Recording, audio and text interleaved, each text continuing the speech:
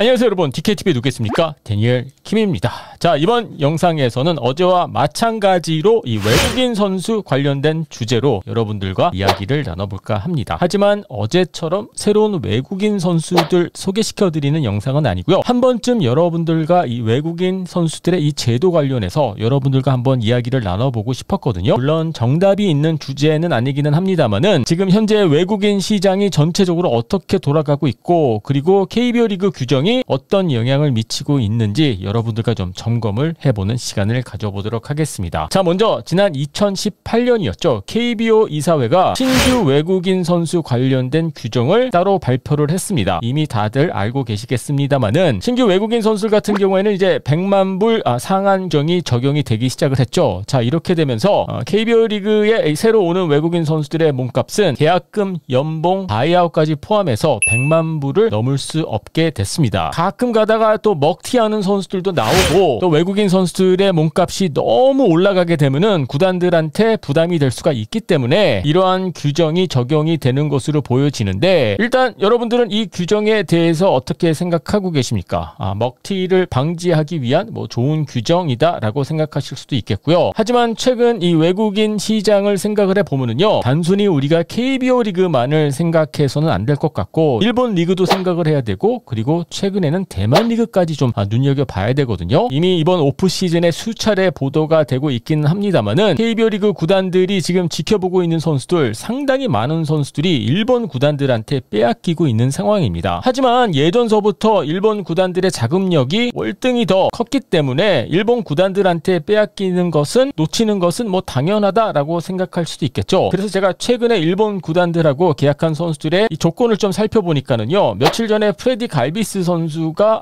2년 아, 600만 불의 아, 계약을 맺었고요. 그리고 맷 앤드레스 선수 같은 경우에는 1년 계약을 맺었는데 210만 달러의 계약을 맺었습니다. 일본 구단들 같은 경우에는 한 200에서 300만 불 정도 오간다? 이 정도의 몸값이 형성이 되고 있다라고 보시면 될 것 같습니다. 아무래도 아무래도 KBO 리그 구단들이 일본 구단들의 이 자금력에 비해서 밀릴 수밖에 없다 보니 일본 구단들이 조금 더 아, 수준 높은 선수들을 데려가고 있는 것은 분명해 보이고요. 거기다가 이제 KBO 리그 구단 구단들은 실제로 자금력이 된다고 하더라도 100만 불을 넘을 수가 없기 때문에 선수 수급하는데 아, 조금 뭐 힘든 상황이 아닌가 그렇게 보여집니다. 그리고 아까 제가 말씀드렸다시피 이 100만 불 상한 규정 buyout까지 포함된다라고 말씀을 드리지 않았습니까? buyout이라면 결국에는 뭐 이정료다라고 보시면 될 것 같은데 근데 이제 buyout 같은 경우에는 여러분들 미국 쪽에서 세금까지 발생이 되거든요. 그래서 세금까지 포함시킬 수밖에 없는 상황이다 보니 KBO 리그 구단들의 입장에서는 온 외국인 선수를 데려오기가 상당히 어려워지게 된 게 아닌가 그렇게 보여지고요. 그리고 제가 아까 대만 리그도 언급을 하지 않았습니까? 최근에 대만 리그 팀들의 투자도 아직 뭐 KBO 리그 구단들 수준까지는 아니기는 합니다만은 예를 들어서 외국인 선수들의 몸값이 꾸준히 올라가고 있다고 하고요. 지금 보장액만 봤었을 때 30만 달러에서 60만 달러 정도까지 올라오고 있다라고 합니다. 물론 KBO 리그 외국인 선수들에 비해서 낮은 액수이기는 합니다만은 KBO 리그와 대만 리그 팀들 간의 경쟁도 조만간 갭이 줄어들고 있기 때문에 60만 불 보장이라면은 KBO 리그 구단들이 압박감을 느낄 수 있을 정도의 액수가 아닌가 저는 그렇게 보고요. 그래서 우리가 여기서 생각해 봐야 될 부분이 경쟁하는 리그들이 많다라는 점을 우리가 기억해야 되지 않을까 싶고요. 지금 상황을 뭐 간단하게 심플하게 설명을 드리자면은 KBO 리그 구단들이 원하는 선수들은 상당수가 지금 일본 구단들하고 계약을 맺고 있고 그리고 2, 3년 안에는 대만 리그 팀들과 아, 경쟁을 해야 되고 심지어 대만 리그 팀들한테 좋은 외국인 선수들을 빼 앗기는 아, 그러한 사례도 나올 가능성이 충분히 있어 보입니다. 그런데 말이죠, 여러분들. 그게 전부 다가 아닙니다. 2023년서부터는 이 외국인 선수들 관련한 salary cap 규정도 적용이 된다라고 하거든요. 400만 달러로 이제 제한이 된다라고 하는데 외국인 선수 3명에 400만 달러면 뭐 충분하지 않냐라고 생각하실 수도 있겠죠. 그런데 한 가지 재밌는 게 옵션까지 포함된 액수라고 합니다. 예를 들어서 얼마 전에 케이시 켈리 선수가 LG 트윈스와 재계약을 맺지 않았습니까? 총액 150만 불, 보장액은 120만 불 불이었는데 400만 불 salary cap 안에는 케이시 켈리 선수가 150만 불로 적용이 된다라고 보시면 될 것 같거든요. 그래도 250만 불 정도가 남았기 때문에 충분하다라고 생각하실 수도 있겠죠. 하지만 케이시 켈리 같은 선수가 2명 또는 3명까지 보유하고 있는 구단들이라고 할 경우에는 상당히 이게 타이트해지지 않을까. 그리고 케이시 켈리 선수가 꾸준히 좋은 성적을 낸다라고 할 경우에는 자연스럽게 여러분들 몸값이 올라가는 거 아니겠습니까? KBO 리그에서 롱런을 했었던 더스틴 니퍼트 선수의 연봉은 건 한때 200만 불도 넘어섰기 때문에 신규 선수의 상한 규정도 규정이기는 합니다만은 이 400만 불의 이 salary cap KBO 리그 구단들에게는 앞으로 외국인 선수 구성하는데 아주 큰 걸림돌이 될 수 있지 않을까 저는 그렇게 생각을 합니다. 그리고 또 그와 동시에 이 KBO 리그 팬들의 눈높이도 상당히 높아지지 않았습니까? 외국인 선수들 또는 에이전트들이 원하는 대로 좋은 계약 조건을 제시를 하게 되면은 분명히 분명히 먹튀하고 뭐 안 좋은 사례도 나올 수 있기는 합니다만은 저는 이렇게 생각하거든요. 물론 100만 불 상한 규정 그리고 샐러리 캡도 어느 정도 일리가 있는 그러한 규정이기는 합니다만은 리그의 브랜드 가치를 올리고 더 많은 좋은 선수들 그리고 메이저리그급 선수들을 영입할 수 있다라면은 리그의 수준도 올라가기 때문에 샐러리 캡도 그렇고 외국인 선수 규정 관련해서는 한 번쯤 좀 생각을 해봐야 되지 않을까 싶습니다. KBO 리그 구단들이 원하는 선수들을 영입하지 못하고 울며 겨자 먹는 식으로 뭐 마음에 들지 않는 선수들밖에 영입하지 못하는 그러한 상황 으로 이어진다라면은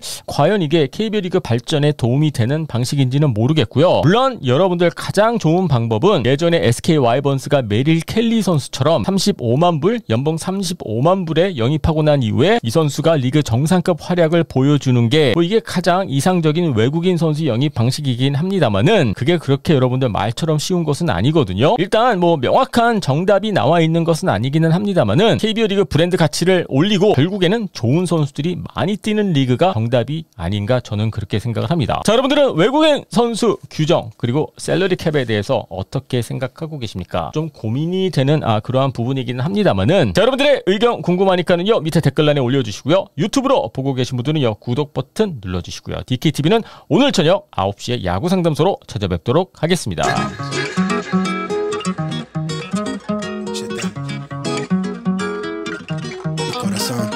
A jump. Top when I speak, all cap with the speech till they caught up in the rapture. I'm so out of line with the phrase game. Let's take a break, pin a line.